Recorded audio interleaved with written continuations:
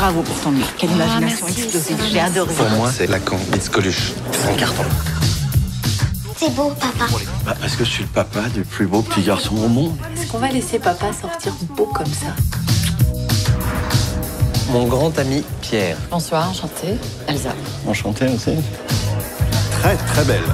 Ça c'est c'est moche. On aurait pu partager le même taxi. Au moins on a intérêt tous les deux à pas partager le même taxi. Pierre. Pierre Ça va? Ouais ouais. Moi, je me suis battue pour avoir une vie merveilleuse. C'est triste parfois de pas pouvoir le partager avec un homme qu'on aime, quoi. Et qui vous aime.